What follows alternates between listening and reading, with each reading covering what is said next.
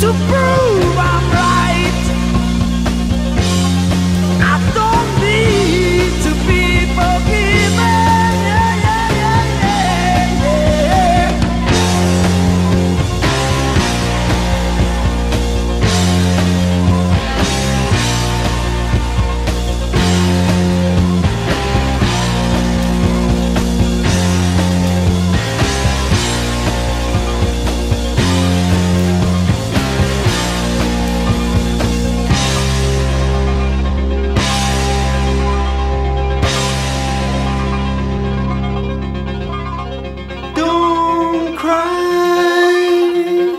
Don't